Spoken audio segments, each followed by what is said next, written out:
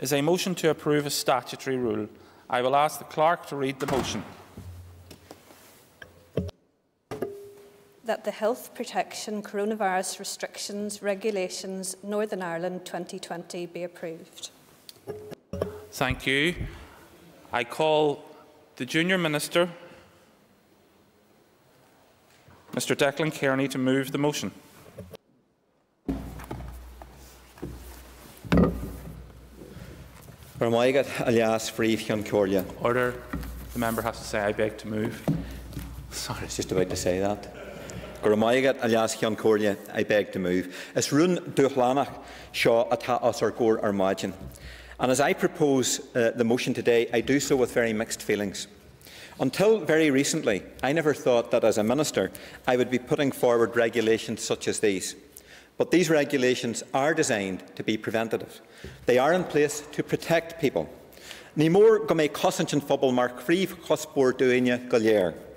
Supporting measures to close businesses, protect people's livelihoods, while restricting mobility are a necessary cost that we must all pay to get through this health emergency. We must all put the needs of our citizens first.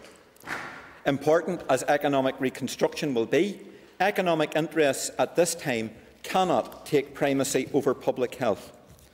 The ravages of this terrible disease have dictated the need for legislation to close churches and cemeteries and empty our high streets the length and breadth of this island. Over 2,500 of our fellow citizens have been affected, and tragically, over 200 have lost their lives. Families bereaved in the most trying of circumstances are unable to comfort loved ones who are dying or to mourn them as they would wish. And our health and social care colleagues, our heroes, Speaker, risk their lives daily to win the battle against this pandemic.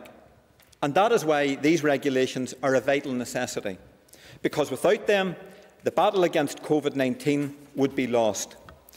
The regulations were made and came into operation on the 28th of March in the knowledge that democratic scrutiny by this Assembly would follow. It was not a decision taken lightly, nor do we take today's proceedings lightly. Through scrutiny, the Assembly must satisfy itself that they are necessary, proportionate and sound. Alias Free Concordia, regarding the content of the regulations, the approach is very similar to that in other jurisdictions. There are three main sets of restrictions. Firstly, many types of business, particularly those with a retail focus, have had to close or change to a takeaway or delivery only mode of operation. Secondly, there are restrictions on gatherings of more than two people, other than for exceptions, such as funerals or providing emergency assistance.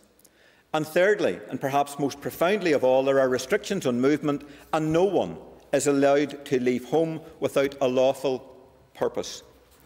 There are provisions for enforcement by the PSNI and penalties ranging up to £5,000 on summary conviction. Alias Frith Concordia, I will now clarify some of the things that the regulations do, but also some of the things that they do not. Firstly, in relation to businesses, the regulations do not contain a list of essential businesses. Rather, they list businesses that must close and types of businesses that must repurpose. For everything else, the Executive's message is reflected in guidance and communications, and our message is clear. Where people can work from home, they must, and where people must come to work, then they must be able to work safely. The restrictions on citizens' movements are also very tight, and some might even say draconian. But for the most part, the intention of those restrictions has been clearly understood, and levels of compliance within society have been good. However, there is one aspect which is worth clarifying, and that is the question of whether it is lawful to drive in order to take exercise. And the answer lies in the wording of Regulation 5, which refers to the need to take exercise. So if someone needs to drive to take exercise, then they may do so. The PSNI will apply a test of reasonableness to that. A household that has young children or an elderly relative can drive to the local park to exercise safely. Or a person with a disability, such as autism, who needs to drive or to be driven to take regular exercise can do so lawfully. However, a leisurely long drive to a resort or a beauty spot must now be off limits for this time. Alas, Free Concordia, the delayed scrutiny of the regulations does have one benefit. We now have evidence to assess how they are in fact working. And crucially, we know the answer to two key questions. Are these regulations needed? And do they work? To answer the first question, we must look to the modelling work carried out by the expert group led by Ian Young.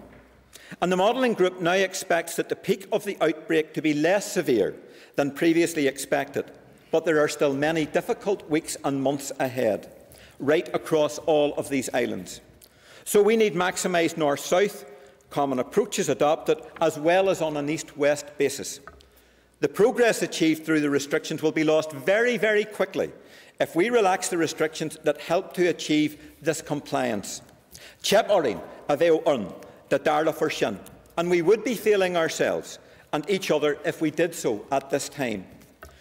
The World Health Organization has warned governments of the dangers that easing restrictions would raise in terms of the spread of further infection. At all times, we should be guided by international best practice and advice. So, Mr Speaker, the regulations are still needed. Ní. On the second question, the daily situation reports tell me that the regulations are successfully promoting social distancing, and that compliance is producing tangible results. Confirmed cases and deaths so far are less than we feared. Mr Speaker, the regulations are working, and that credit belongs to all of us who is making the, the sacrifice at this time. There are citizens alive today who would otherwise have died. Consequently, our health service is more than holding its own in this battle. So yes, alias Frith Concordia, the regulations are indeed working. Agus i Concordia, ulach na shaw. In my own personal experience, I know very well how much hardship and anguish is being caused to family and friends. The Executive recognises the resulting distress, anxiety and economic harm. But all parties in our power-sharing government support maintenance of the restrictions at this time. I and executive colleagues understand how extremely difficult it is that members of our families, individual friends and our community are being denied the solace which moments of reflection at gravesides and places of worship can provide. But that is the price that we must pay because the coronavirus pandemic is an emergency. And the fact is that we have not beaten COVID 19. No other interest or priority can take primacy over our public health. There is no room for complacency. We face the possibility of new surges of this pandemic, but equally, we must be vigilant for mutations of this virus and or new pandemics. Because, members, the scourge of lethal pandemics is no longer a reality confined to the outer reaches of Africa or Asia. We are prepared to do all in our power to help businesses, workers and citizens through this. Those efforts will not stop. This battle must be taken forward with a whole government and a whole society approach. Alias, Free Concordia, this is a very important debate. The regulations require very careful scrutiny. I trust that having done so, the Assembly will agree with me that they are necessary, proportionate and sound. And Shaw, go gunne for na rialathe seo faoiscrúdú tréhearca go rialta. I also assure members that the regulations will be subject to regular reviews and the second is due by the 9th of May. And there will be ongoing consideration on the potential of the scope for ending any of the individual restrictions where possible. But all ministers in our executive agree that these restrictions ought not to be removed a single day before it is safe to do so, but equally, not a single day should they remain than necessary. In the meantime, we must continue to give united political and civic leadership. Alias Free Concordia, Mullum an Run agus na Dunchonnell. I commend the regulations to the Assembly. Gormaigat. Thank you. I thank the Junior Minister for his statement. The Business Committee has agreed there should be no time limit in this debate. I would also advise members that the Business Committee has agreed that under the current circumstances, members are entitled to rise in their place if they wish to be called to speak during this debate and any other today. The usual ways of getting your name on the speaking list, informing the business office or approaching the top table are also valid options for members to use. Um, I call now the Chair of the Executive Office Committee, Mr Colin McGrath. Uh, Mr Principal Deputy Speaker, and I would echo your earlier uh, remarks, uh, offering condolences to those that have passed away and to their families at this time, and also uh, to offer our continued best wishes to our brave and formidable forces within our health service sector that work uh, tirelessly uh, day and night to help protect our community and care for them. Um, I rise today to speak on behalf of the Committee of the Executive Office uh, now, the Committee of the Executive Office did not have lead responsibility for the scrutiny um, of these regulations, but I want to outline the very important link that there is between uh, the role of the Executive Office and that of the Department of Health uh, in the fight against coronavirus. Um, the Coronavirus Act gives the Executive Office powers to make directions uh, to compel the closure of certain premises and to prohibit mass gatherings. However, it also gives the Department of Health uh, powers to make regulations enforcing social distancing uh, on people, and that is what we have before us today. Giving the uh, Executive Office the power to make the directions reflects the cross-cutting and the sensitive and far-reaching nature of the measures that we have. Uh, and also uh, will help to continue to have these rules and will have a considerable impact on how we live our everyday lives for the foreseeable future.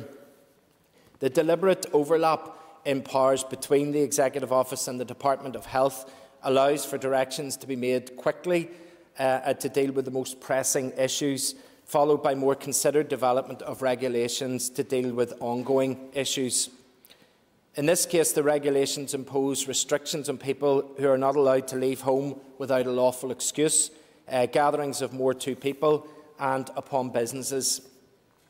The Health Committee, which has responsibility for the scrutiny of these regulations, considered the statutory rule at a meeting in early April, and I'm sure that the chairperson of the Health Committee will share with us the details of the committee's deliberations. Due to the timing around the laying of the rule, the Committee for the Executive Office did not have an opportunity to consider the regulations before today, However, the Executive Office did provide a comprehensive briefing outlining the background to the making of the regulations and their relationship to the powers of the Executive Office under the Coronavirus Act, and the committee will consider this at its meeting tomorrow. Um, Mr Principal Deputy Speaker, I make the following remarks in my capacity as an MLA. Um, coronavirus has presented us with massive challenges Nobody could have understood or appreciated the impact that the virus uh, was going to have when they first heard of it. And certainly words like surreal and unimaginable are regularly used to describe the situation that we are in. I mean, who could have thought a few months ago that we would be in lockdown, restricted to what we can and cannot do, and when and where we are able to do these things? Now, this legislation is scary. Uh, ordinarily, it would be bad. It, it's draconian uh, and anti-human rights. But we are not in normal times. The response to this virus needs to be mammoth, uh, restrictive, and even feel at times like it's anti-democratic, with no normal time to be able to debate uh, or discuss these massive changes to the rules. The rules are harsh, and in places they are somewhat cruel to cause loved ones to have to die on, alone and then not permit a funeral and then restrict who can attend the burial and then not let the family visit the graveyard. It is cruelty, but it is necessary in order to stop the spread of the disease, and that will save lives. It's cruel, but it's necessary. Uh, people are still dying in our communities. The threat from coronavirus is as serious as ever. And if we let our guard down, we will be opening ourselves to the unnecessary loss of loved ones. Now, in recent days, I certainly have seen a lot more movement in our community, and many people are calling for parks and cemeteries and recycling centres to be reopened. But any decision that is taken to relax the restrictions that we're operating under or to change the interpretation of those restrictions has to be underpinned by medical and scientific evidence. So when executive ministers are appearing on radio show, shows or on television or at press briefings, they need to explain the rationale for those decisions, including any change that there is to medical advice. The executive must ensure that it appropriately communicates with the community and let them know why and why not things are happening. If closing recycling centres is saving lives, then let's explain that. People will listen to reason, but they need to hear it, and there can be nothing wrong with clarity. Uh, decisions cannot be taken on the basis of simple lobbying. It needs to be underpinned by scientific fact. There also needs to be a roadmap for us to get out of the clutches of this virus. Um, it isn't a tap, it can't be switched off. Uh, it, it isn't seasonal. Uh, spring and summer weather isn't going to reduce the impact, and the virus certainly isn't going to be going away on its summer holidays. It is here until we manage our way out of it, and that will require the executive to have a detailed plan to communicate that plan and to make sure that everybody stays on side with that plan. Now, I know that people are finding lockdown extremely difficult. I understand those concerns, the fears, and the anxieties because we're all feeling them. But the cost of loosening the restrictions cannot be the lives of the people that we care about. In the absence of clear medical advice, we cannot change the guidance because people do not like being cooped up anymore. We all have that feeling, but it must be underpinned by the scientific facts. Now, successful countries like New Zealand and Germany and South Korea and others have common traits testing, community tracing, uh, and working out who has, who hasn't, and who has had this virus. When we get to know all of that, we will contain it better. Then, when we get the vaccine, we will control and eradicate the virus, and then all of the rules and the regulations will not be needed any longer. I cannot wait for that day, and I know that many people feel the same. But patience is needed. Sticking to the rules will save lives. And it's better for us all to stick to the rules for a while than be one of those family members who loses a loved one and can't go to the funeral, or worse still, is being the one that is buried. Let's stick to the rules, let's plan for the way out, let's communicate it to everyone, and be prepared should this happen again. Mr Principal Deputy Speaker, we accept and support these rules, but we really wish that we didn't have to. Thank you. Thank you. I call the Chair of the Health Committee, Mr Colin McGrath. Or, sorry, Colm Gildernew. I beg your pardon. Last Priogyan Corlia. Eh, Boihlam couple of Fakla Ara or Dus Markia Hirlak or Angusta Slancha. I would like to start my contribution on this matter with expressing my sincere condolences with those who have lost a loved one during this difficult time. I know that is shared by party colleagues and all members of the Health Committee. It is not easy losing a loved one at any time, but it's per perhaps particularly difficult at this time of social distancing and lockdown measures. The Health Committee considered the health protection coronavirus restrictions regulations at its meeting on the 2nd of April. The Department advised the Committee that due to the serious and imminent threat posed by the incidence and spread of coronavirus, the Department was unable to submit an SL1 policy proposal and that the regulations were made without a draft being led and approved, so that public health measures could be taken in response to the serious and imminent threat to public health posed by the incidence and spread of coronavirus. We heard evidence from the Chief Environmental Health Officer in the Department of Health. The Department advised that the regulations cover three main areas restrictions on business permitted to remain open, restrictions on the movement of people, and restrictions on social gatherings. Committee members raised a number of issues, including the importance of comparative information on similar measures in the south of Ireland and effective and ongoing north-south cooperation. I welcomed in this respect the Memorandum of Understanding that has been signed by the Chief Medical Officers, North and South, which aimed to ensure cooperation and harmonised messages where possible and highlighted that cooperation is important to ensure that regulations do not present barriers or blockages in dealing with the COVID-19 crisis at this time.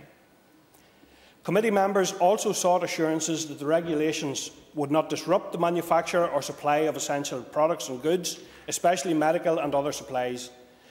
We were advised that the rule did not require closure of manufacturers subject to advice on maintaining social distancing. We discussed enforcement powers given to the PSNI and were assured that the police had powers to disperse gatherings.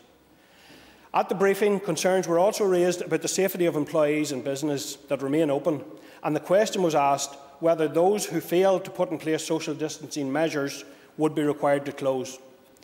Members flagged concerns that some businesses are reported to be operating without social distancing or PPE. The committee was advised that it remains the responsibility of business owners to ensure the health and safety of their staff if their business remains open, and the need for all workplaces to adhere strictly to guidance from the Public Health Agency and from the Health and Safety Executive. Members were further advised that the Health and Safety Executive and Environmental Health Departments within councils each have a responsibility for different aspects of this and that. Complaints may be made to the relevant body. We were also informed, however, that under the rule, only the PSNI are given relevant enforcement powers but that designation of other bodies was under active consideration. I, I would be grateful for an update from the Junior Minister on this matter also. Members raised the important issue of communicating the regulations to ethnic minority communities. For example, in the form of leaflets and other languages, the Chief Environmental Officer undertook to feed that back into the system and to act upon that. Finally, the question of procedures at ports and airports was raised in terms of addressing the risk of further transmission of the virus from cargo or passengers, another issue which has come to prominence recently in terms of flights carrying seasonal workers from Eastern Europe. The committee was advised that airports would be treated as, other, as workplaces in terms of social distancing requirements, but I think questions remain over the approach to individuals arriving on flights from elsewhere. Due to the urgency of the situation, the committee was unable to take the views of other committees with regards to the cross-departmental elements of the regulations as it would normally do. The committee therefore agreed to consider only the health aspects of the statutory regulation. Members acknowledged the unusual nature of the regulations and the restrictions contained therein, but were broadly supportive of the need to implement such measures in the current circumstances. The committee noted that the regulations provide that the Department of Health must review the need for restrictions and requirements imposed by the regulations at least every 21 days, with the first review being carried out by 18 April 2020, and that the regulations would cease to have effect after a period of six months. It is also crucial that we learn and implement the lessons from the start of this outbreak. We must do this swiftly to ensure that mistakes are not repeated and to prepare for further phases or surges of this virus, and the Health Committee will continue to play its part in that process. The Committee agreed that it was content with the health aspects of the statutory regulation. Akion Collier, I would now like to add some remarks as Sinn Féin spokesperson for health. It cannot be said enough that these are unprecedented times in which we live. The scope and provisions within these regulations show the extent of the measures deemed necessary to tackle COVID 19. They say a week is a long time in politics, but it appears to be an absolute age during this pandemic.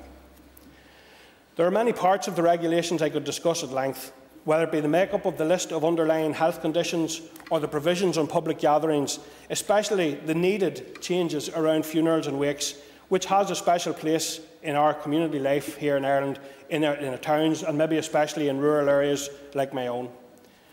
However, I will focus on the key aspects of the regulations, and this is around the powers to restrict movement and travel.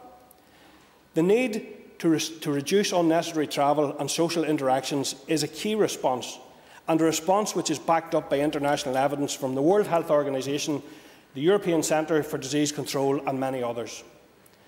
Restrictions on travel and movement are one of the most noticeable measures to reduce social contact. The WHO indicates that these measures are effective but have a cost. These measures also lose their benefit if they are not coordinated across the entire island. The need for effective implementation and coordination across the island is essential, especially as part of a future review of the regulations. It is worth noting, I believe, that the measures were largely already observed in the north ahead of the executive, with many schools effectively closed and events cancelled and families already self-isolating. We are only now starting to see the, the benefits of that. Essentially, these measures are designed to keep the public safe, but they are also, and this is an important point for the public to recall, remember, they are also vital in keeping frontline workers and staff safe. It is brilliant for us to clap, and very well deserved, to clap health and social care workers on a, on a Thursday night. But after hearing ongoing concerns with access to PPE and difficulties in testing, one of the best things the public can do at this time is to stay home to protect and not to overburden our health service. I look forward to the time when these measures are no, are no longer necessary, a time when we have the testing and contract, contact tracing systems in place to do as the global experts say, to test, isolate and trace, but we are not there yet. In their recently published guidance document, the World Health Organization advised a number of steps that need to be in place to deal with the situation. The first is that transmission is controlled. Second, the capacities are in place to detect, test, isolate, treat every case and trace every contact, and that outbreak risks are minimised in special settings like health facilities and nursing homes, about which we are all gravely concerned. I want to quote a clear message from the WHO guidance that is important to remember. To prevail against COVID 19, we need an approach that unites in common cause every individual and community, every business and non profit, every department of every government, every non governmental organisation, every international organisation, and every regional and global governance body. To harness their collective capacity into collective action, everyone has a crucial role to play in stopping COVID 19. Last Prio Corlia, there is a saying that night is darkest just before the dawn. But let us be very clear, we are not through this yet, and for that reason, Sinn Féin supports these regulations. Agus big slán a lig ar an am seo. Thank you, and please all be safe and take care at this time. Thank you. I call Ms Paula Bradley, the Chair of the Communities Committee. Thank you, Mr Principal Deputy Speaker. And can I also join you and other members in the House this morning in offering my sincere condolences to the many families out there that have lost someone that they love dearly.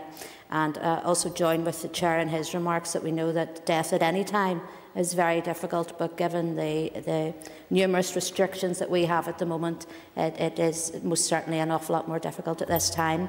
And also a massive um, heartfelt thank you to all of those members in health and social care that are doing uh, an absolutely wonderful job at this moment, and also those essential workers that who behind the scenes um, are, are, carrying out many of the aspects of daily living here in Northern Ireland that go unnoticed. Um, so, massive thank you to them also.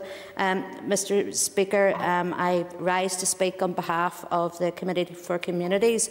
And while the committee hasn't formally uh, discussed these regulations, its members have been aware of those aspects which relate directly to the Department of Communities and the nature of my comments as chair of the committee. Mr Speaker, the restrictions outlined in the regulations undoubtedly curtail the normal activities associated with everyday life. In effect, these regulations put an end temporarily to those activities for the majority of people. However, it is reassuring that the people of Northern Ireland have responded with great understanding of the crisis we are in and the actions we must take collectively to emerge from the crisis as soon as we can with as few fatalities as possible. It is not um, an understatement to say that adherence to these regulations will save lives, and the Executive has gone to some lengths to emphasise this. But people need to be reassured that the restrictions referred to in the regulations are not just essential but proportionate, and that there are clear criteria and processes in place that will allow for these restrictions to be relaxed at the appropriate time. Therefore, it would be helpful if the Minister would clarify how the process of review takes place and against what criteria. This will be increasingly important as the public health impact of the virus in terms of decreasing infections and deaths appears to decline and the focus turns to restoring greater normality to all aspects of our lives. This will be particularly important to our economy. So we need clarity on the evidence required to support a decision to terminate a restriction or requirement. Perhaps the Minister can shed some light on this. The economy has been significantly, significantly impacted, perhaps none more so than the hospitality industry, which plays a huge role in the wider tourism industry. Indeed, this is evident under Schedule 2, which lists the businesses subjected to restrictions or closure. My party colleague, the Minister for the Economy, has taken decisions to support these businesses, and that process is now underway. So while the regulations are extraordinary in terms of the extent of the restrictions, we should also remind ourselves and wider society that the Executive has tried to balance these with support for industry and the individual. The Committee for Communities also notes Regulation 5, restrictions on movement, which provide a reasonable excuse for a person to leave their place they are living. The regulations state that a reasonable excuse includes accessing critical public services, including services provided by the Department for Communities. The Junior Minister will be aware that these services have been significantly curtailed in order to minimise the need for a person to leave their home. But given the wide range of services provided by the Department for Communities, it would be useful if clarity was provided on what services the Minister had in mind when including this reference in the regulations. Mr Speaker, we all look forward to the day when the restrictions and requirements imposed by these regulations are lifted. But it is important, as progress is made towards that goal, that we are cautious that we don't take action too early and set back the achievements we as a society have made together. Thank you. Thank you, uh, Principal Deputy Speaker. I, I, want to thank the Minister for the statement, which offered, I think, much needed clarity uh, on the regulations and some of, um, some of the rules that are being applied to those regulations. Uh, for example, the circumstances under which it is permissible to drive to a venue for exercise and when it is, when it is not. But I think there's still some inconsistency, and, and I would like to invite the Minister to, to address this. For example, visiting cemeteries. Um, for, for some time now, recently, I've been observed how a, a supermarket near here is applying social distancing, beginning with restricting the number of shoppers within the supermarket, making sure that those in the queue uh, maintain social distancing by marking the pavement in two metre uh, lines, uh, and now having a one-way system up and down the aisles, which is all very good, but it's not enforced. And I don't see how you could enforce it. What if a shopper's halfway down an aisle and turns and goes back because they've forgotten a good? Nobody's saying you can't do that. Other people are going down the aisle the wrong way and nobody's enforcing that. And if a shopper stops to load the trolley? Do the shoppers behind them all stop two metres, two metres, two metres behind? No, they overtake, passing each other on all those occasions much closer than two metres. And yet we permit that every day, every hour, every minute of every day, while we don't allow those who are grieving to visit the graves of their loved ones. And the testimony of, of those people uh, is heart wrenching. And the impact on their mental health is clear. So we say, yes, go to a park because it's good for your physical health, good for your mental health. But when it comes to somebody who is grieving the most natural human condition, uh, we say, I'm sorry. As the Minister said, I believe I quote him, it's a price we must pay. I don't think it is. I know I could visit my father's grave at Roselawn and the Roselawn authorities could ensure social distancing was maintained in a way that is not maintained in our supermarkets on a daily, hourly, and minute by minute basis. So while I welcome uh, the Minister's statement, I think there is more we can do to be consistent, to be empathetic, to recognise our common humanity. And I would welcome him addressing that point.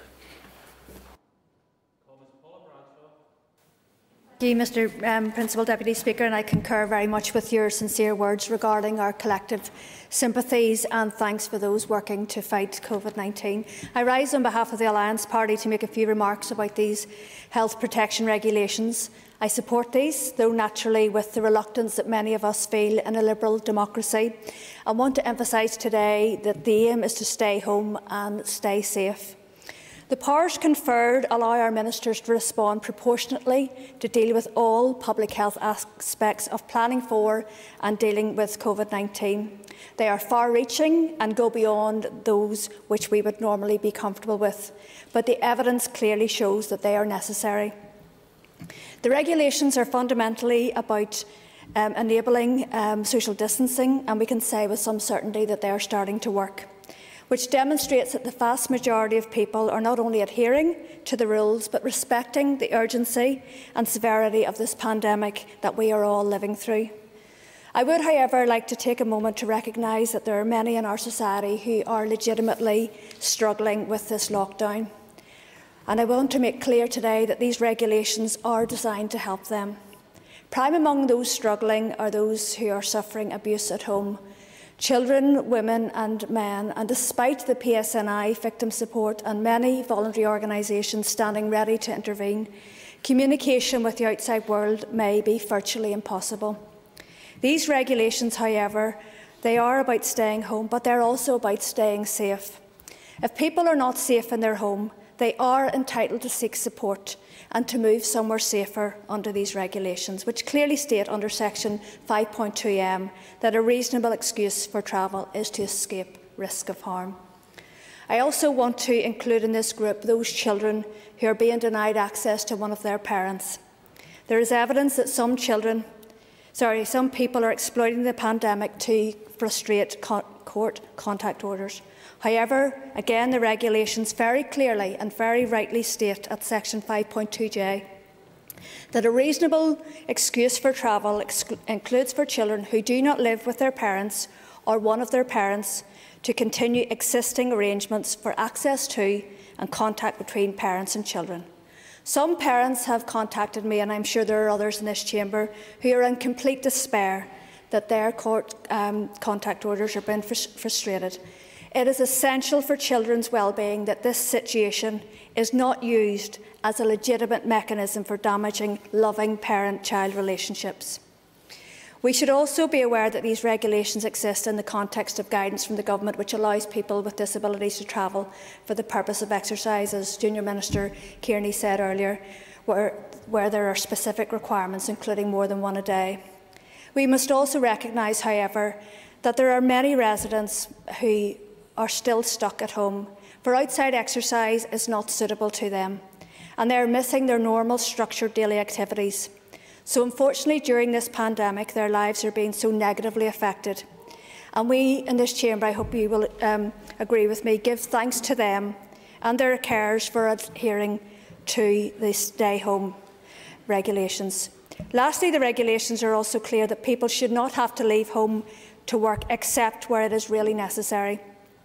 Sometimes this is so, but even if someone cannot stay at home, they must be able to stay safe be they healthcare, worker, healthcare workers, shop workers or factory workers. Their safety must be paramount and relevant adjustments made to the workplace and to equipment to make this so. As others have said today, I look forward to the, the day that we are debating how we step down and move away from these regulations and lockdown, but for now we have to, to stick with the guidance. So it is essential, therefore, Mr Principal Deputy Speaker, that we ensure these regulations are both about staying home and staying safe. That is our aim for us all. Thank you.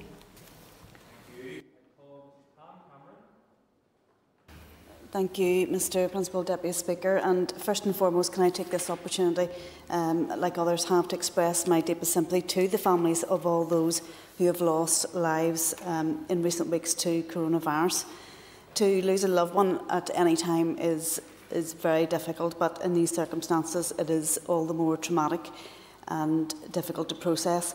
It's also appropriate to recognise that there are those who have lost loved ones through conditions unrelated to COVID-19, as their grief is no less um, in these most trying of times.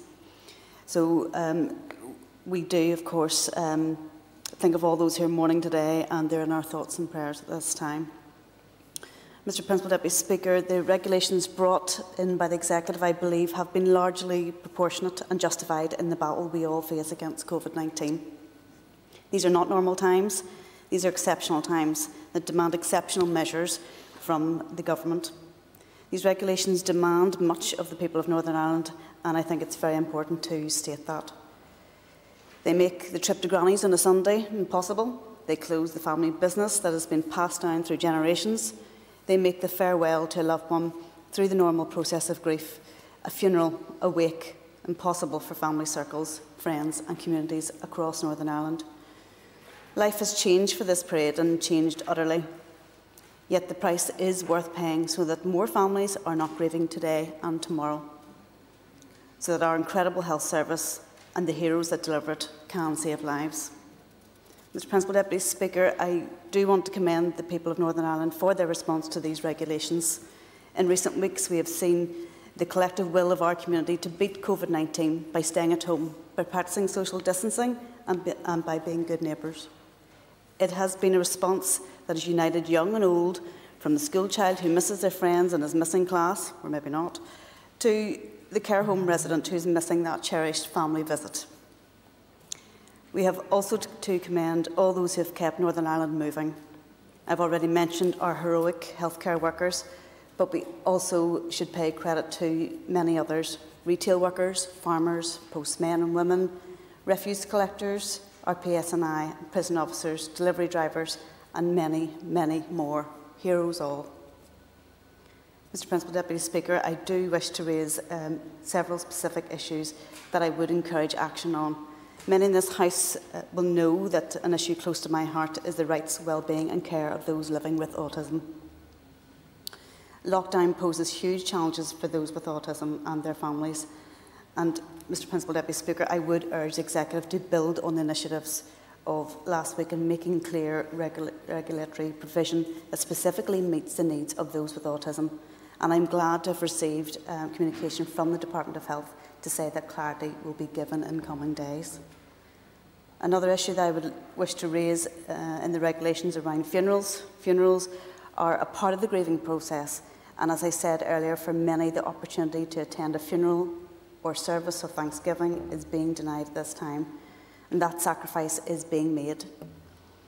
Sadly, Mr. Speaker, we have witnessed a small number of people ignore the regulations and be part of funeral gatherings that go well beyond what's permitted within these regulations. And it is important that a unified voice of this House is to say, you're not above the law to these people. You do not have the right to do that which families grieving through COVID-19 have sacrificed. And I do urge the PSNI to bring those who flaunt these rules to justice for everyone's benefit. Mr Principal Deputy Speaker, in conclusion, I say once again that while we ought to always have these regulations under review as the situation evolves, these regulations are necessary. Let us continue to stay home, protect the NHS, save lives. Thank you. Thank you.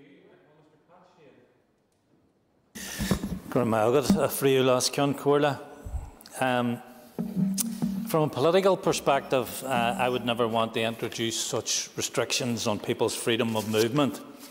But as many colleagues have already stated, we're living in extraordinary times. But even on a personal level, as someone with young children, two daughters aged eight and four. We're involved in the GAA. As a family, we enjoy our walks on the beaches and in our parks and forest parks. The idea of having to continue to stay at home as the evenings get brighter uh, brings many challenges. But these challenges pale in comparison to the challenges our healthcare workers currently face and would face to an even greater extent if we relax the restrictions now. We're told we're in the surge period, and to cease with the restrictions that facilitate social distancing at this time would be, in my view, irresponsible. The economic challenges we face as a society will undoubtedly be huge as a result of this global pandemic, and we will need to support workers and business in rebuilding in the time ahead. But we need to keep our eye on the ball.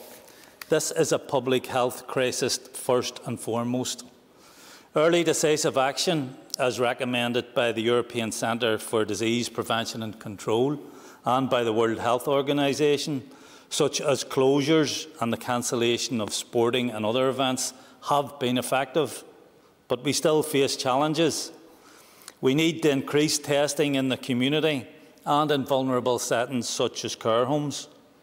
We need to ensure frontline workers have the PPE they need to carry out the vital work in a way that protects their patients, their own families and themselves.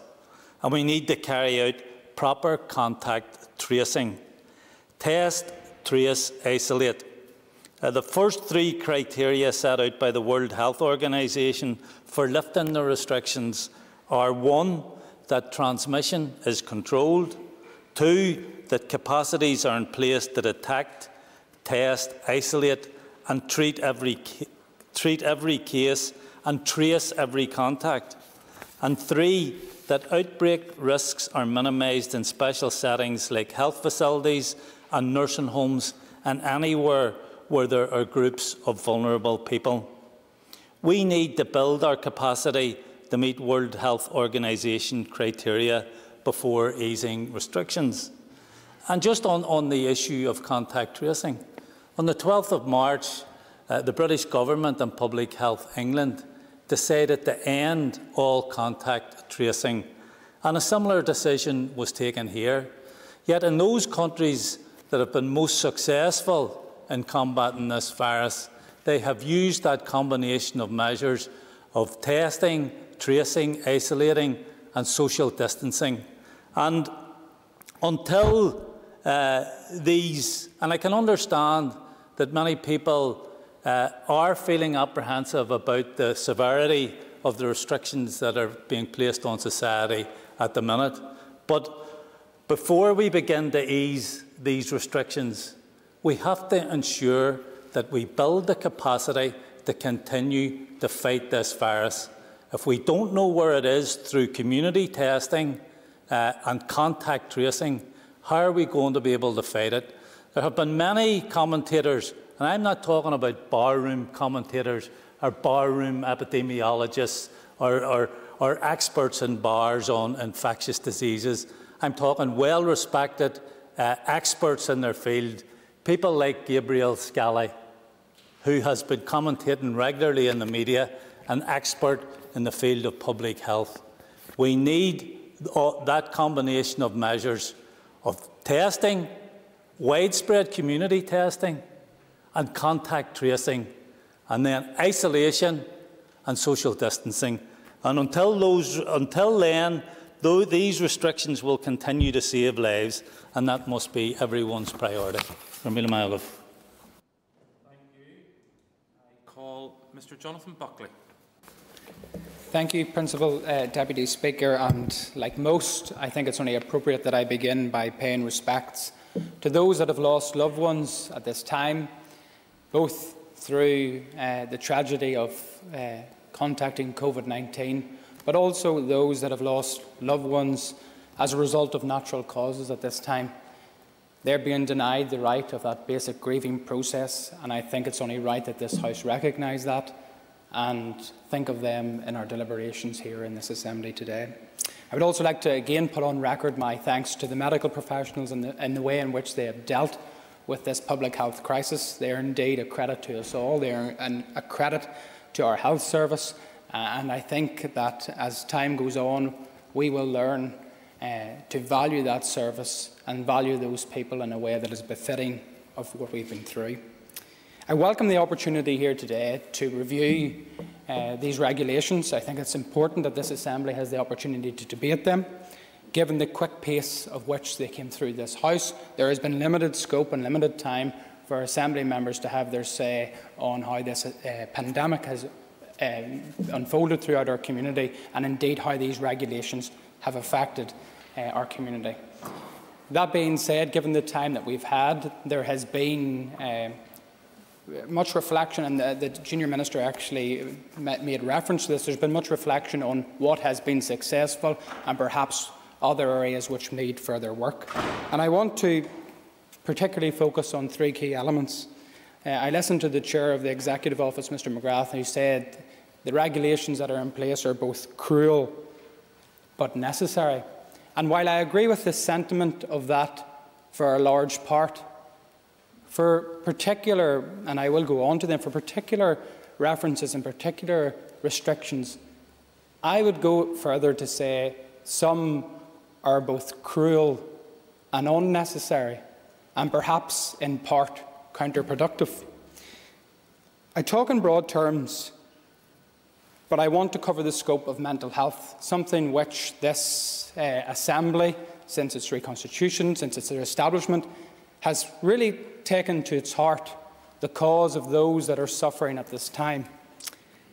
The def definition, Regulation 1.2, and the defined definition of a vulnerable uh, person, the omission of mental health conditions is something that gives me great concern. Mr Nesbitt has rightly outlined one of those key uh, restrictions in relation to mental health that I think has had a devastating impact and something that I think needs urgent review. That of access to graveyards, in particularly urban cemeteries. For many, the most basic form of grieving is the visitation of that grave, whether that's to place flowers or whether that's to go in quiet times of reflection. For many of them, it is a private, dignified act of remembrance. And I feel that the regulations that are in place are cruel and unnecessary in this regard. Just in a moment, I, well, yes. Um, I want to bring them to the attention of the recent media reports that talked of an elderly gentleman, I think from County Antrim, who wanted the opportunity to go and place flowers on his um, loved one's grave. I think it was one year she had passed away and coming on the anniversary. The gate was locked, so attempted to climb the fence, impaling himself on the railing as he attempted to place flowers on that loved one's grave. I'm sorry, but I do not see how that regulation is necessary. If we can place, and society can place, uh, social restriction measures in whether it's shops, as, been, as, has been alluded to, if we can place restrictions uh, in walking space, surely to goodness we can place adequate restrictions in a graveyard. This, remember this, people do not go to visit loved ones at gravesides for mass gatherings. Quiet times of personal reflection. I had an email, uh, Mr Principal Deputy Speaker, just yesterday on this very issue from a gentleman who quite briefly got to the point. Please, sir, show some compassion and reopen our cemeteries. I had a bad breakdown last week. I'm ready to end it. This is getting to the point because while we place regulations and restrictions in place to save life, and I recognise that, I recognise that in its entirety, but we also run the grave risk of taking life through restrictions that we've put in place if we do not act and act sensibly. At this stage, I'll give way to giving way. And uh, being a representative like others, I actually, from my family perspective, I have more immediate family members in a graveyard than out of the graveyard, and the importance is. But would you accept that this? We don't want this to become divisive. We're all looking in the same direction, which is to get these cemeteries open for people. And I think if we're all in that vein and looking for that what we have been stating is that it's getting the scientific evidence to say that it's okay. That should be something I feel could be sorted out by today or tomorrow. But it's just underpinning because if you start to change rules, people get confused. But scientific evidence is the way forward. And if we could get that open, I don't see that taking any great length of time. Concur with what you say in relation to graveyards, and I have no doubt that if members reflect upon this point, there, sh there should be unanimity in this House as to how we deal with this matter let's face it, scientific evidence, yes, I, I, I take your point. But if we have a situation where, for example, off licences can be opened at this time and people can queue in a socially restrictive manner to access that service, only common sense would tell you that the same rules should apply to a cemetery.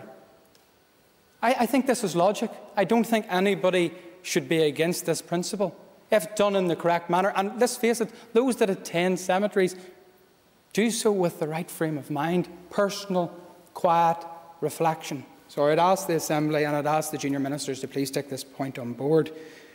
The next point I would like to raise, raise is parks. And the junior minister has clarified a point in relation to travel for immediate exercise, and I welcome that clarity. I think that's important and needed at this time.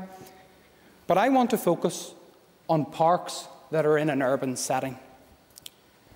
And this goes back to my point about being cruel, unnecessary, and in some ways counterproductive. Because while those that live in the countryside have access to some beautiful rural roads in some fine weather, they can walk the roads with less traffic in a quiet, peaceful manner and socially distant. But for those that live in urban settings, this is quite different. What we now have is people taking to the high street to walk up narrow streets, much closer to one another than if they were able to access that green open space within their town centres. And I think of, in this instance, Lurgan Park, for example. While the gates are closed on Lurgan Park, and I realise that's the responsibility and remit of the local council, but the point still stands, we are forcing people to move in restricted places on our pathways and on our streets, and yet closing the open space that could provide them an opportunity for daily exercise at social distance. The point that my friend uh, uh Ms Cameron raised in relation to autism, and I pay tribute to her because I know this is an issue in which she has lobbied heavily on, uh, and she's been a champion for those with autism in this House having the access to urban parks for those children with autism and parents is essential to their mental health, not only that of the child, but indeed the parent. This is a point that should be taken on board.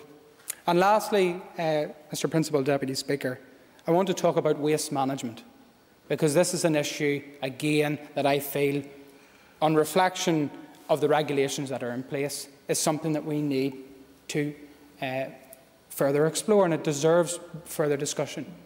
Because we have a situation where we have an increase in fly tipping, we have an increase uh, in uh, waistline in our streets, in our backyards. For those that have no access to refuge, we are creating another public health um, emergency in relation to the disposal of waste.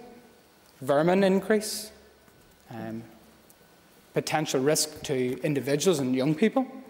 I think this is something that this Assembly and this Executive needs to, to really bear witness to, and the importance of a unanimity of message across the board. And we see now that there are some councils adopting a different approach. I believe, again, going back to the principle that if um, councils or indeed uh, any other member of staff, if they can apply social distancing measures, they should do so. These are simple um, elements of these regulations that I wanted to highlight today because I feel, getting back to my litmus test, a lot of the restrictions have been cruel but necessary, that is without doubt. And I, uh, I welcome them here today. I, I voted for this piece and these restrictions, but I now look further in depth at the specific regulations which I feel have been counterproductive. I've highlighted three of them. I would appreciate uh, the Junior Minister's time here today, and I would ask them to reflect upon these points. Thank you, Mr Principal Deputy Speaker. Goime Agad Alas Free Can Collier, and I rise to speak in favour of the um, to give approval to the coronavirus restrictions regulations. And when I last spoke uh, in this chamber on these regulations, I sent my sympathy uh, to the 10 people who had died across Ireland and to the 17,000 people who had died across the world. And here we are, only a few weeks later, and I send my deepest sympathy to the 894 people who have died across this island and the 170,000 people who have died across the world. And even as we let all of that sink in, I don't think that there's anyone in this chamber just listening to all of the MLAs thus far um, that's enthusiastic about having to support such restrictions on our society as are before us here today. In normal circumstances, I would be speaking loudly against such restrictions at every opportunity, at committee and in this chamber. And ideally, you know, this is not how we should or would be doing legislation.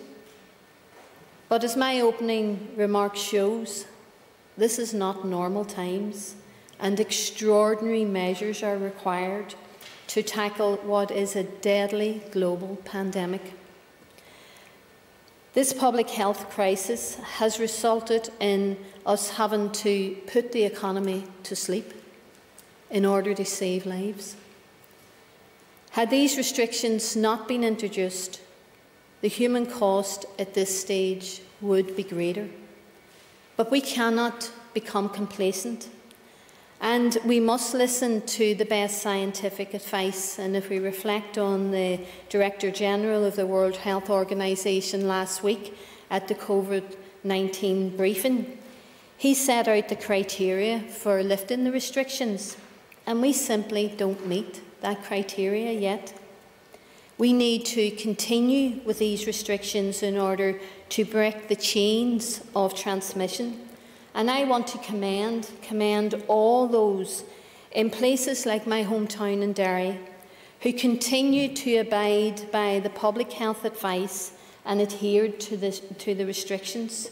It's them. It's them who have kept the death toll down.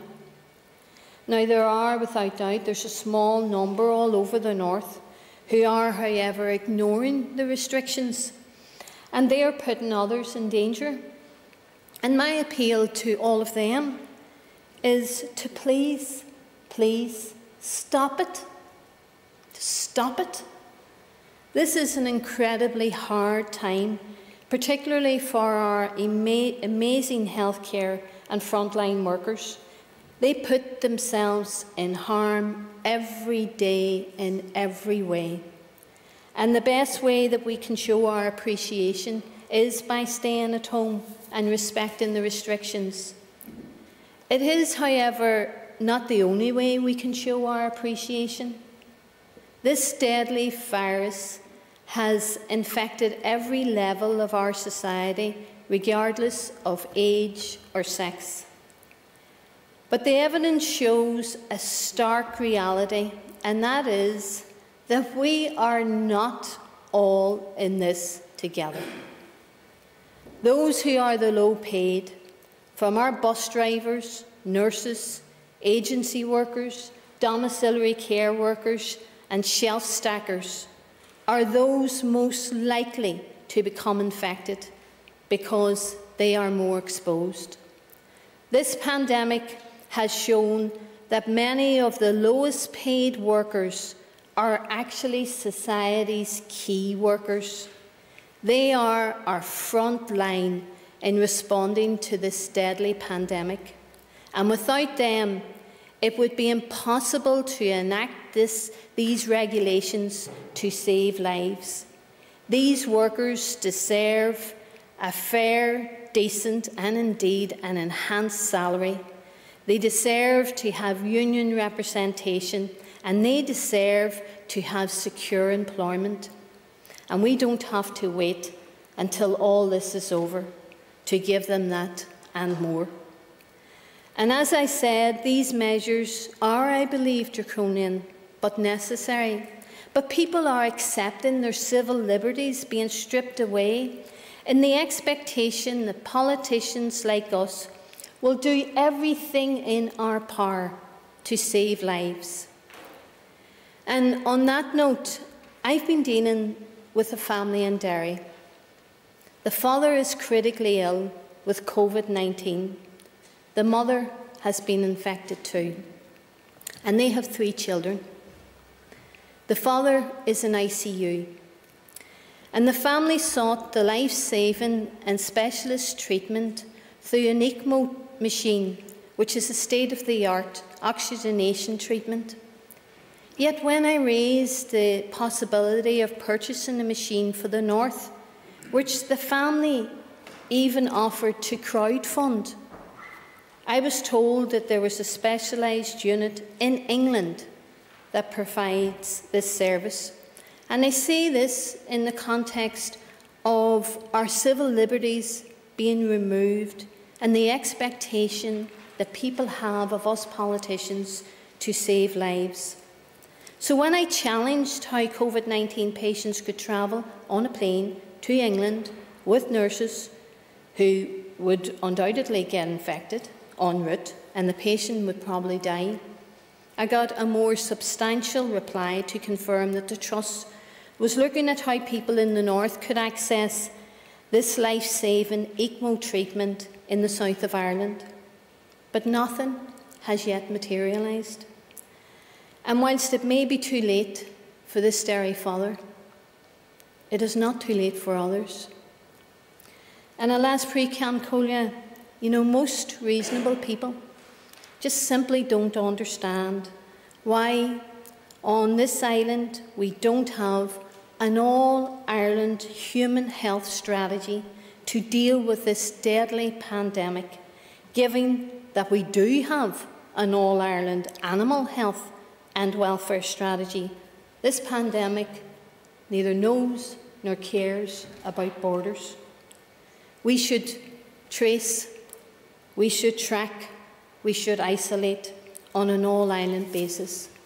And on that note, I will leave it at there. Mr John Blair.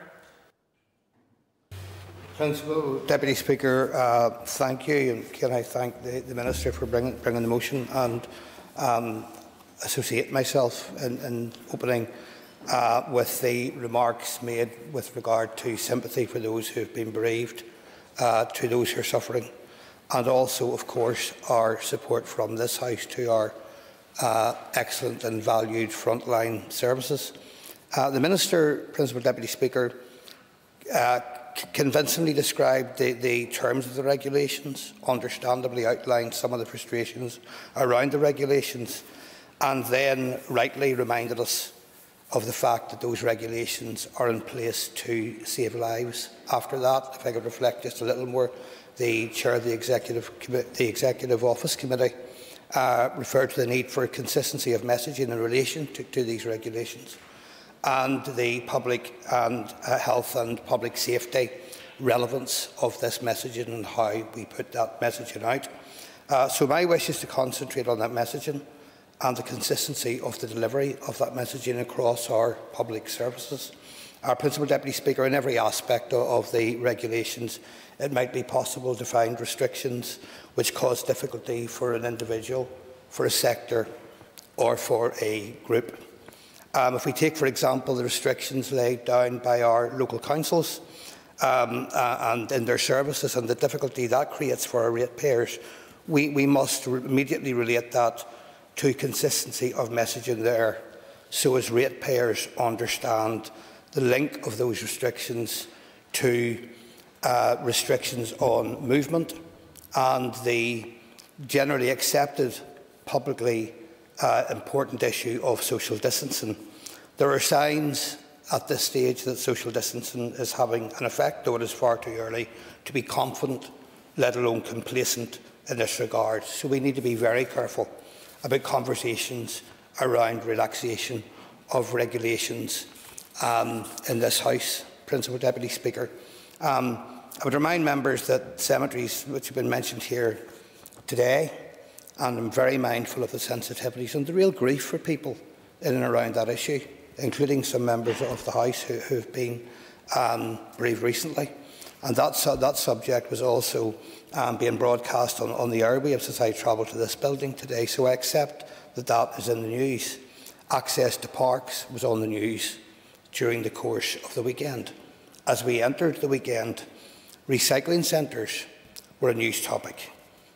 And we have to be aware that the mixed messaging emanating from these conversations is not conducive to clear guidance. It creates grey areas and uncertainty and has the potential to put already stretched public services under further pressure. So, for those reasons, Principal Deputy Speaker, I ask in, of course, supporting the motion that the ministers present take with them today, if they can, firstly, a request for consistency of messaging, which is steered, of course, by professional health and scientific advice. Secondly, full explanation, whenever possible, and as regular as possible, as to the reasoning behind the restrictions and the regulations. And thirdly, that every effort is made to ensure consistency in delivery across government and different levels of government and in local government. And if that requires liaison with SOLACE or NILGA or any other body, so be it. So in supporting, I make those requests. Thank you, uh, Mr Principal Deputy Speaker. These regulations, I don't think any of us are particularly comfortable with them, nor should we be. They are, in the main, though, necessary, though they are not perfect. And I think as time goes on, we need proactively to address the imperfections. Both Mr Nesbitt and Mr Buckley have put their finger on one of the most poignant uh, inadequacies in these regulations.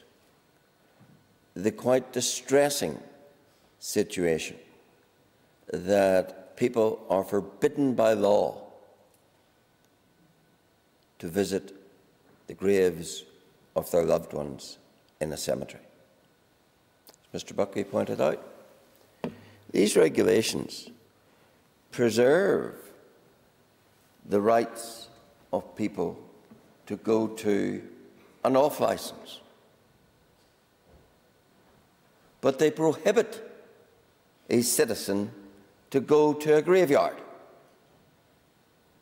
You can go to the closed, enclosed space of an off licence, but you cannot go to the open space of a graveyard. How preposterous is that? And yet, that is what these regulations provide for. Graveyards are not the gathering places outside of funerals, which are separately taken care of, of large numbers. They are solitary places where people, often individually, like we heard on the radio this morning, a former member of this House, Kieran McCarthy, talking about being unable to go to visit the grave of his daughter. They are solitary visits in the main. They are not rowdy, rumbustious situations that get out of hand. They are singular, but they're critical to the grieving process and indeed to the mental health of many. And yet, though we've passed, apparently, the first review of these regulations, it still maintains this outrageous restriction on any member of the public going to the grave of a loved one. Now, if there's any compassion,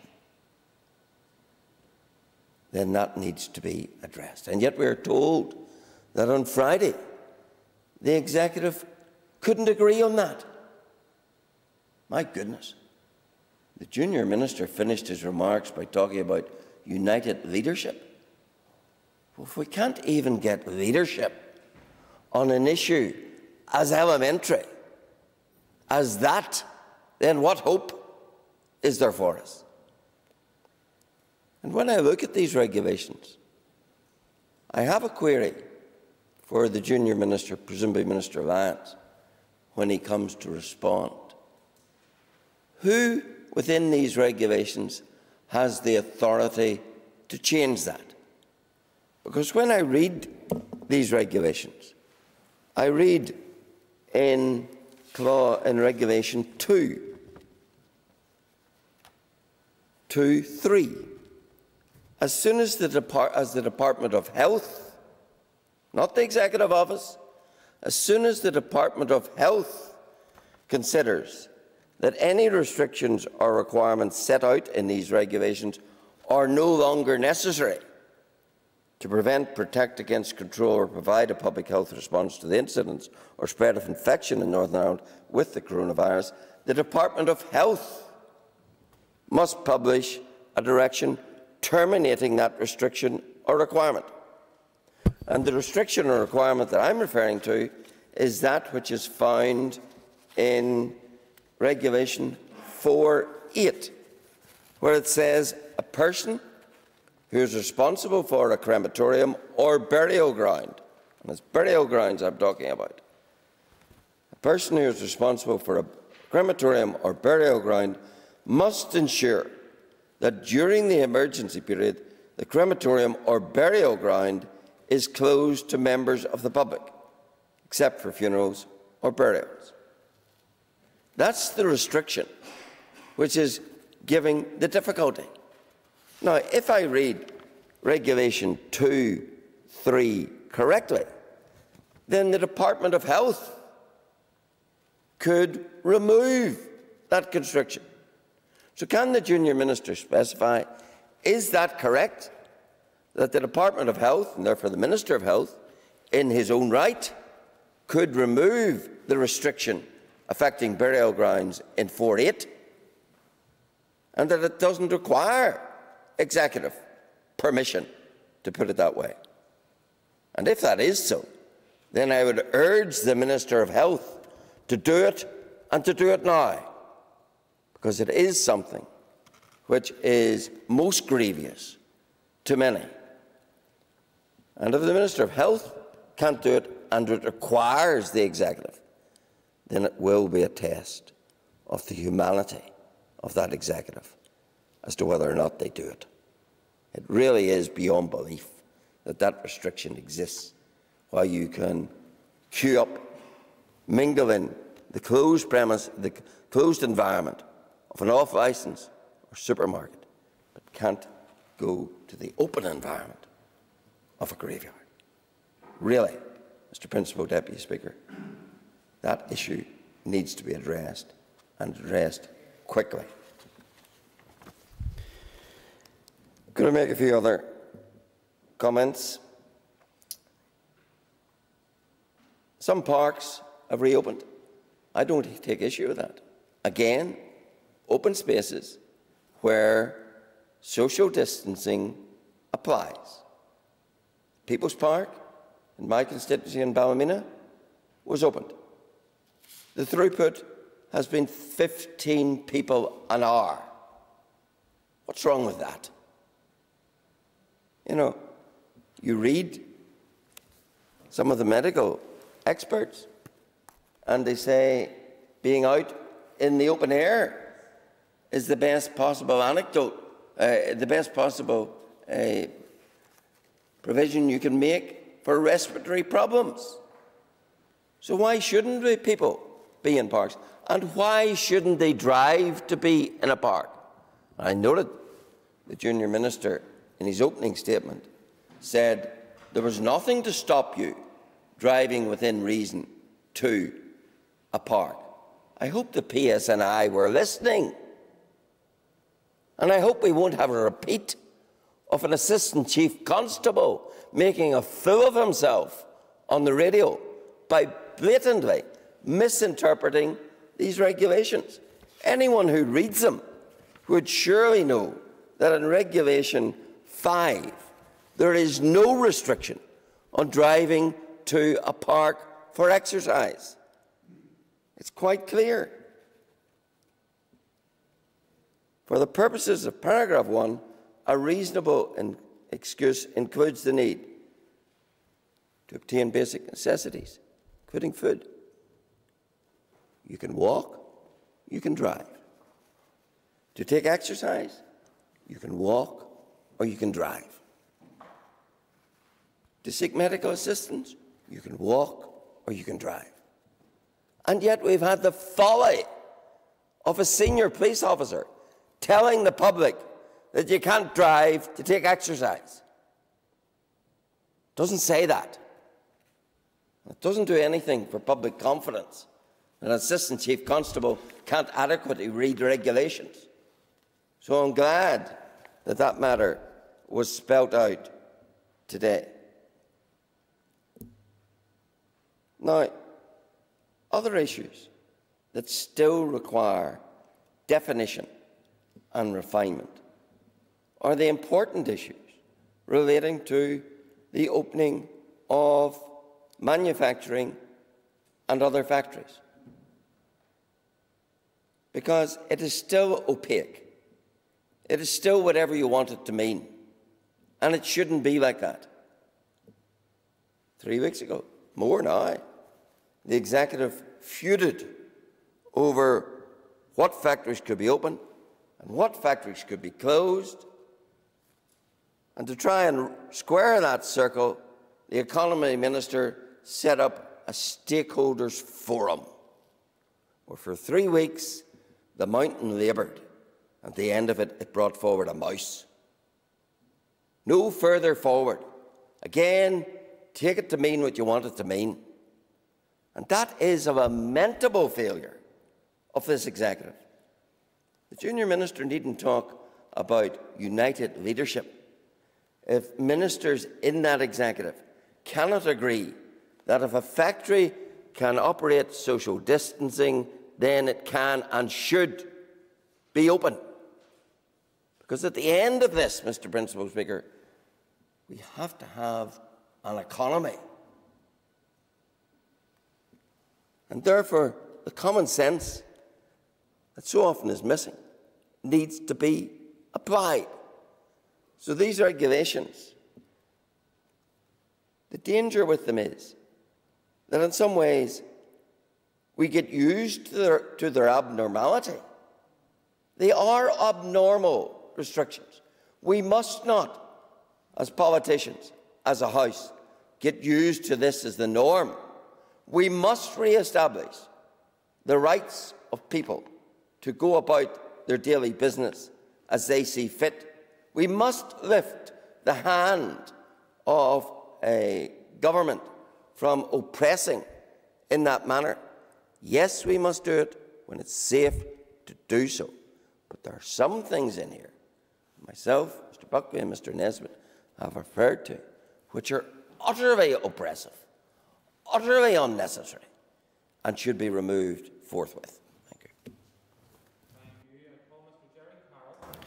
Thanks, Mr Deputy Speaker. Uh, we're weeks into this crisis and it's scandalous to say the least that this executive has only now put out legislative guidelines about what businesses can and can't open. Uh, once again, the executive have followed, uh, have told the Tory snail's pace, waiting for uh, them to act while leaving small businesses uh, and their owners in limbo, allowing big businesses like Bombardier to do what they like, and worst of all, putting the lives of workers uh, at risk.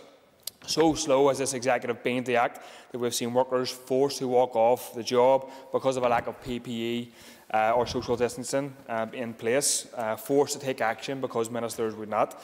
And I want to raise the deeply concerning issue of Bombardier uh, in particular. Uh, this new law sets fines and potential prosecutions for people in gatherings of more than two.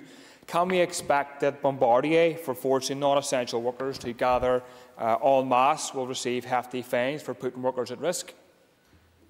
I doubt it. Uh, yet I see nothing in either the government specification or indeed in these legislative changes that would indicate that building airplanes, uh, building airplane parts is an essential service uh, at this time. So why does Bombardier feel that it is able to announce it will reopen very, very soon? Is it the case that a minister in this executive has actually given Bombardier the go-ahead to reopen and designate as essential work? And if this is the case, um, we urgently need the executive to come clean on it. Uh, and the Minister will be responsible for risking the health of our communities in favour of a quick buck from Bombardier bosses. And much uh, was raised through the debate about the actions of individuals, uh, but not a single comment about Bombardier uh, at all. And I want to speak to uh, Mr Deputy Speaker about construction sites which have been publicly shamed for opening and forcing workers on site while this executive has turned a blind eye. It is shameful that profit margins and the economic interests of bosses here seems to be elevated above the health and needs of our communities. Every day, it seems, I am contacted by a worker or employer who is totally baffled by the guidance here, who have no idea what their rights are, and who are terrified they are bringing this virus home to their families. They needed protection from the executive for months, but have been left in limbo. They deserve better. Thank you. I call upon the Junior Minister in the Executive Office, Mr Gordon Lyons, to wind on the debate. Mr Lyons. Thank you very much, Mr Principal Deputy Speaker. And can I say at the outset that I welcome today's debate and the uh, thoughtful and sincere contributions of the members uh, who spoke. This is the first time that we have had to take uh, legislation through the Assembly on behalf of the Executive Office. Uh, and just a few weeks ago, it would have been unthinkable that we would be introducing regulations that would have such far-reaching consequences uh, into almost every aspect of the lives of our citizens. These regulations are detrimental to our economic well-being. They restrict our civil liberties. They separate us from our friends and our families, but they save lives. In, or in ordinary times, these restrictions would be abhorrent uh, to all those who value the, the freedom to get on with our lives in the way that we want without interference from the state. But they are sadly necessary as we fight this invisible and deadly enemy. Thankfully, people have been adhering to the rules put in place out of respect for each other uh, and our NHS. And I want to thank everyone uh, for doing their bit and helping us to stop the spread uh, of this virus. And, Mr Principal Deputy Speaker, I know that it hasn't been easy. I have heard the stories of the heartache that people are facing. From those who can't be with their elderly relatives, uh, from those who have had to miss out on attending the funeral of their loved ones, uh, from those um, who are fearful uh, about their economic security uh, or their, their business because it's had to close. And I know that it's not natural for us to stay apart from each other uh, in this way. We are mostly uh, social beings that, that thrive uh, on interaction. However, I hope that people will be able to take some comfort uh, in the fact that their sacrifices are, hel are helping uh, to keep people uh, alive. And that's why we have to, to stick to uh, the rules that we have uh, and that we need to maintain uh, social distancing, uh, as difficult uh, as this may uh, be. I do want to turn to some of the points that members have made, and it's clear that there were uh, recurring themes uh, woven through many of the, the contributions. Uh, that includes the unprecedented un uh, nature of these regulations, uh, the courage and selflessness of health and social care staff, and the many others working in public services and businesses to keep things going. Uh, the importance of supporting the bereaved uh, and the vulnerable, uh, and the need uh, to turn our minds uh, to recovery.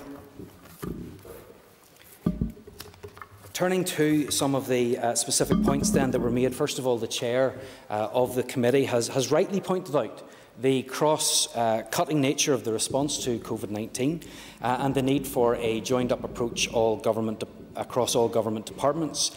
Uh, and I can assure him that the Executive Office and the Department for Health will continue to work closely together uh, on this matter. Uh, he talks about looking at the uh, possible relaxation of, of, restrictions. Obviously, the first review was, was considered by uh, the executive, uh, and, and, no changes uh, were made at that time. But the next review uh, will start to look at the timescale uh, for easing some of the restrictions to get more of the economy uh, working again and to ease the burden on citizens. This obviously does call for, for careful judgment.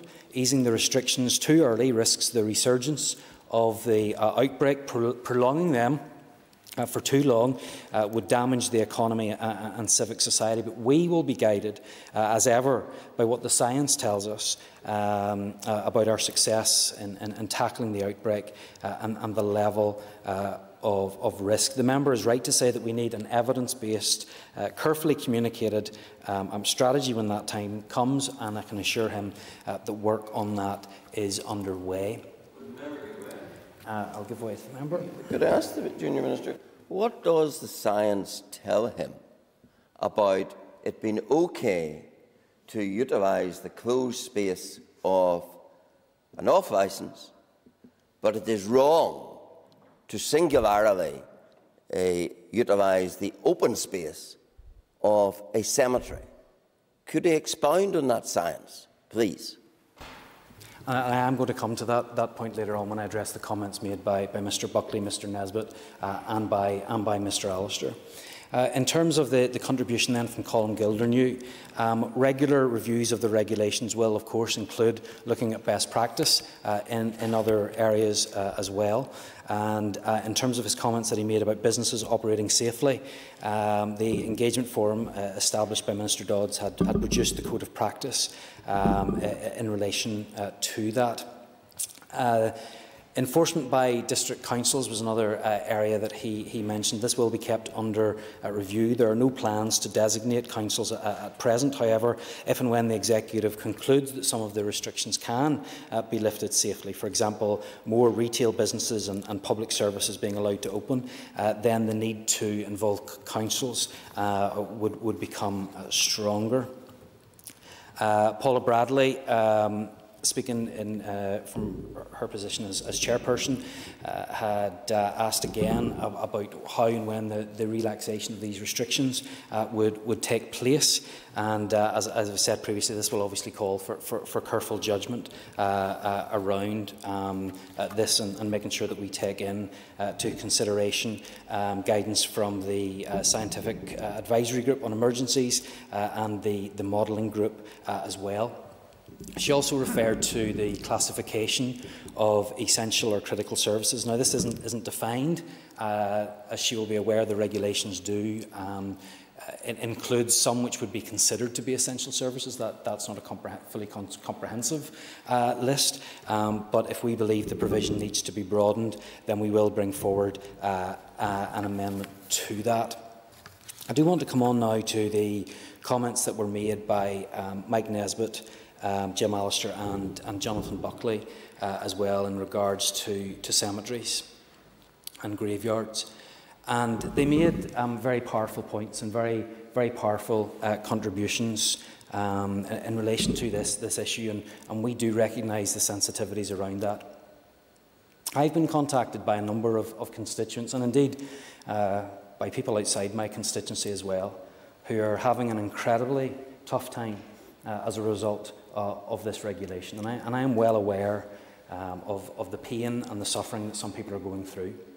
And this is not just for people who have been, been recently bereaved either, because we all know that the, the pain uh, that comes from bereavement um, can remain acute um, many years uh, afterwards, uh, after a death takes place.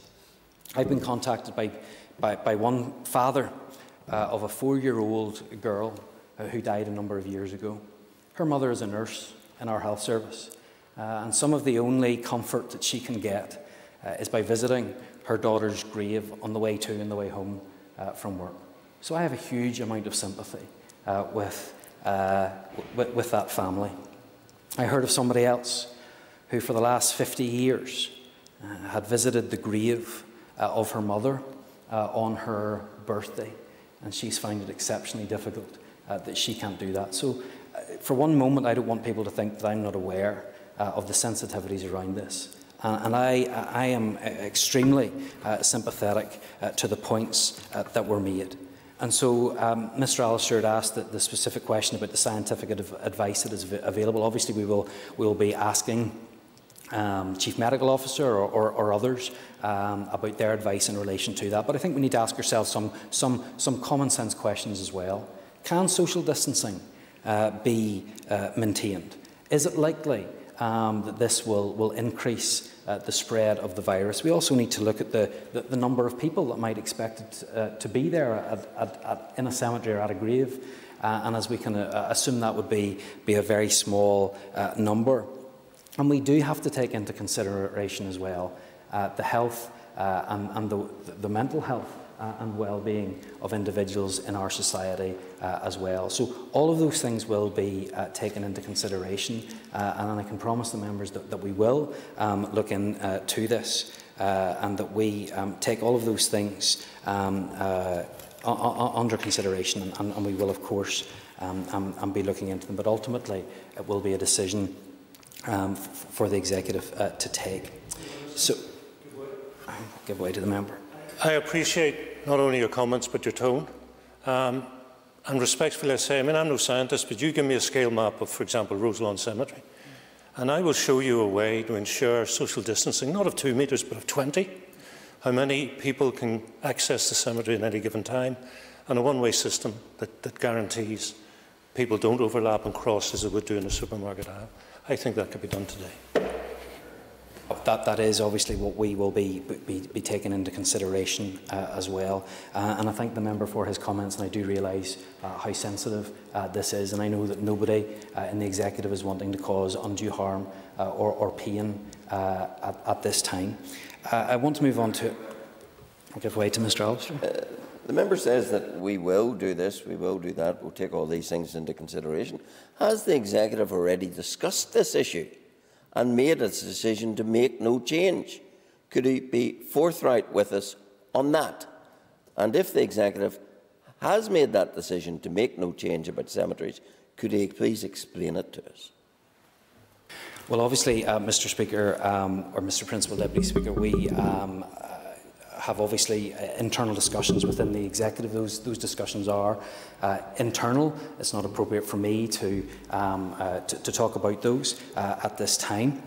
Um, but certainly um, not only do these regulations have to uh, be reviewed every three weeks, but they can be reviewed uh, at, at any time. Moving on to the comments that, that Paula Bradshaw uh, had made, I want to, to agree with her on the um, very difficult situation that many find themselves in as a result of, of domestic uh, abuse or the difficult circumstances that they might find themselves in because of having to stay uh, at home. Uh, I fully agree with the um, member that, that it's right that these people um, can leave home if they need to get uh, that help. And I'm, i was also reminded of the, the, comments made yesterday by the uh, Health Minister uh, in relation to um, the, the, need for people to continue to access medical help. Um, if they need it, that, that's really, really important. That um, we're obviously seeing a, a, huge reduction in the number of people accessing um, health services at this time, for example, in emergency departments. Uh, but people should go um, and, and get support and get help um, when they need it, and that shouldn't stop simply because uh, of, of, of COVID. Uh, also agree with what the member said in relation to um, parental uh, rights or responsibilities uh, and the rights of children for, for contact uh, with their parents uh, as well. Pam Cameron made um, the, absolutely key point that it's not um, uh, the regulations that are saving lives, but, but the fact that our citizens are, are observing those, uh, and uh, in addition, the, the, the, courage and the professionalism of those that work within uh, our health service. And I do want to put on record, once again, our thanks to all of those within the health and social care sector that are doing so much uh, to look after us and to protect us at this time.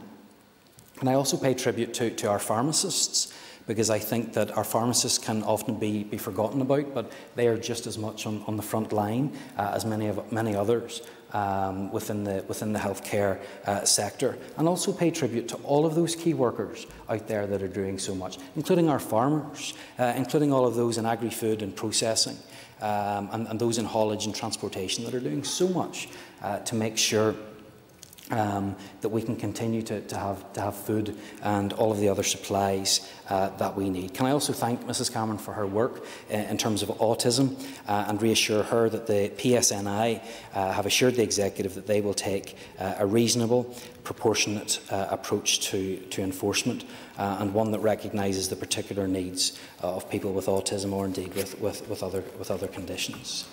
Um, Mr Sheehan um, spoke in, in, some detail in regards to the need for, for PPE, and that's absolutely right uh, and appropriate, and the need for um, uh, testing and resumed uh, contract, uh, contact uh, tracing. And of course, winning the war against uh, COVID-19 will require winning more than, than one battle, but planning for that future phase is, is now underway. Um, Mr Buckley then made comments, I've obviously addressed the issues around, around cemeteries. Obviously, uh, he made com uh, comments in relation to parks. That's not an issue um, within these regulations. Um, that is up to those that, that operate uh, parks. Uh, but um, uh, we, we, we, we, have heard the, the, the comments that he, he has made. Um, additionally, he made comments about household uh, recycling uh, centres. Obviously, um, different councils have taken uh, different approaches to this. We, we recognise the need uh, uh, for commonality, but the uh, Minister does intend to bring forward uh, more information on that later on this week. Um, Martina uh, Anderson rightly emphasised um, um, the, the, the, stress and, and, difficulty that this is, is causing uh, for, for an awful lot of people. Um, she raised um, a member specific to, to one constituent. I'm very sorry to hear the, the suffering that that family uh, is, is facing at this time. This is not a matter, obviously, for the regulations, um, but I will ask the, the Health Minister to reply to her um, in, in, relation uh, to that. Mr. Mr Carroll then um, had also raised a, a, an issue around uh, Bombardier. Uh, I think that the member has not understood um, the regulations in, in, that regard. There's no restriction on manufacturing companies such as, as Bombardier being able to, to operate. Uh, however, Bombardier, like all companies, must ensure uh, that its employees can, can work safely uh, and that uh, enforcement of, of statutory duties and, and, health and safety legislation um, is, is, maintained. That's already there within, within current legislation uh, and that needs to be uh, adhered to. Um, I think I, I, I, addressed the issues as well that, um, uh, that Mr Allister had raised in, re in relation to, to, burial grounds, um, but in relation to the authority to change uh, regulations, the member is correct that the Department of Health can terminate um, any restriction within the regulations. However, the Minister for Health, uh, recognising the, the cross-cutting and sensitive nature of the regulations, uh, had referred the matter to the Executive uh, for uh, consideration. Um, on that uh, as well. And sorry to, to Mr Blair, I haven't forgotten about him, I've just, just left him uh, to last. He, he, he, made an important point about the, the need for consistent and, and clear messaging. Uh, I completely agree uh, with that, and certainly um, uh, we are saying that these regulations uh, need to stay in place. Of course, there will always be reviews. Uh, of course, there may always be things that we need to tidy up or that we need to, to clarify. Um, however, I, I, hope that the message is going out very clearly here today of the, of the need for these regulations. Uh, and for the for the importance uh, of them, uh, and I can assure the member that there is um, regular and ongoing dialogue uh, uh, with with SOLACE um, at this time. Um, Mr Speaker, if, if, any members feel that there have uh, been points that I have not uh, addressed, let me assure them that I can, of course, respond in writing uh, in the days uh, ahead. And in conclusion, uh, Mr Speaker, uh, making these regulations by any standard of normal democracy um, is a necessary but deeply uncomfortable course of action for us to take. and today in this Assembly, we must do this uncomfortable thing because the alternative is far, far worse. Uh, for it would involve the needless deaths of thousands of our fellow citizens and overwhelm our fantastic health service and the first class staff who work in it. So we need to have the courage um, to do that which is unpalatable to prevent much worse consequences. And that means that I'm in the strange position of um, seeking the approval in the Assembly of uh, legislation and at the same time longing for the day uh, when it can uh, be repealed. And, and Mr Deputy uh, Speaker, these regulations uh, will be repealed at some stage. Let's remind ourselves that this is only temporary. We are not asking people to adhere to these restrictions forever, but simply for a period that will end. And that's why it is so important that we do uh, adhere to them and we remember that it only is for, for a short time. We will be able to look forward uh, to a time when the restrictions will be lifted and citizens can once again uh, enjoy the freedoms that we cherish. We can look forward to a time when we can support the vulnerable, uh, comfort the bereaved, and properly mourn the departed. And we can look forward to a time when we can celebrate those heroes uh, that have done so much uh, for us. In short, we can uh, look forward to a, to a time of normality. Uh, and when normality does return, uh, be under no illusion, we have a lot of work to do. First of all, we must rebuild our economy, learning from the painful uh, learning from the, the, painful lesson that um, our, our, economy uh, can, can be shook up uh, very, very easily and in a short period of time. So, building future resilience must be central to that. And secondly, uh, we must rebuild our, our, health and social care service. The response of that service uh, and everyone who works in it has been truly uh, magnificent. And so, in return, we must nurture and transform that service, investing in its capacity, investing in its resilience, and above all, investing in its people uh, to show how we value them. Until then, Mr. Speaker, we need these regulations to protect that service and to protect us all. And so, therefore, I commend uh, the regulations to the Assembly. Thank you. The question is that the Health Protection Coronavirus Restriction Regulations Northern Ireland 2020 be approved. As many as are of that opinion say aye. aye. Contrary, if any? I think the ayes have it. The ayes have it. A point of order, Mr Allister. Speaker, any Parliament or Assembly worthy of the name takes a serious view of a minister misleading that Assembly. And it's such an episode that I want to draw to your attention. On the 23rd of March in this House, the Deputy First Minister, no less, told this House that the executive had signed a contract for PPE equipment, inferring it was with China, causing great hope and expectation amongst our hard pressed national health workers. It turned out there was no such contract. I say that on the basis of what her colleague, the Finance Minister, Mr Murphy, told the Finance Committee on the 8th of April that no contract was signed. He didn't know why the Deputy First Minister had claimed that and misled the, the House, I say, in that. Uh, and yet today we had a debate where there was an opportunity for the Deputy First Minister under the Executive Office business to come to this House to correct and to withdraw and apologise for misleading this House. But as is clear, she hasn't done that. That's why I left it to the end of this debate to raise that issue. That On the 23rd of March, she, in response to Mr McNulty, she said, just this morning, we signed a contract which will see additional PPE brought in.